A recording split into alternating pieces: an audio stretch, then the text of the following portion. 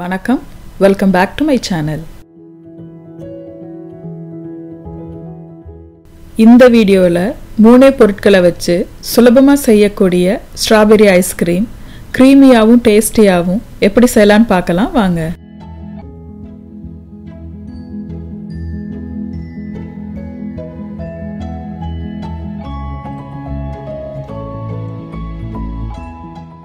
Strawberry ice cream செய்ய ஃப்ரெஷ்ஷான strawberry முந்நூறு கிராம் எடுத்திருக்கேன். இதை மிக்சியில் சேர்த்து நல்லா நைஸாக அரைச்சி எடுத்துக்கலாம்.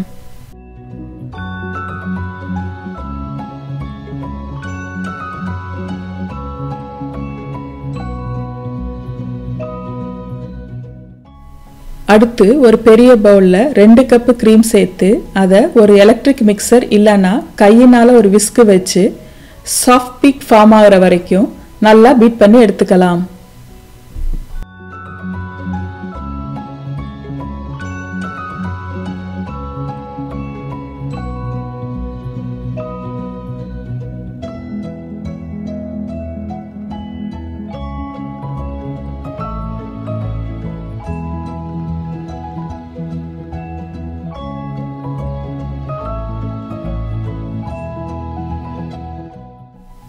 அடுத்து இதில் நானூறு கிராம் கண்டென்ஸ்டு மில்க் அப்புறமா ஏற்கனவே அரைச்சி எடுத்து வச்சிருக்கிற ஸ்ட்ராபெரி இது ரெண்டும் சேர்த்து ஜென்டிலாக ஒரு தடவை மிக்ஸ் பண்ணிக்கலாம்.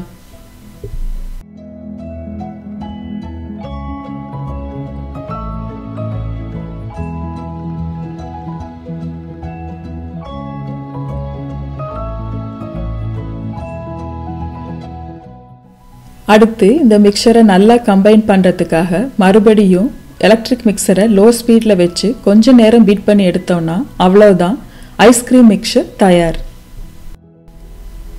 அடுத்து இதை ஒரு ஃப்ரீசர் சேஃப் கண்டெய்னருக்கு மாற்றி நல்லா கவர் பண்ணினதுக்கு அப்புறமா ஆறுலேருந்து எட்டு மணி நேரம் ஃப்ரீசரில் வச்சு எடுத்தால் போதும். ஸ்ட்ராபெரி ஐஸ்கிரீம் பரிமாற தயார்.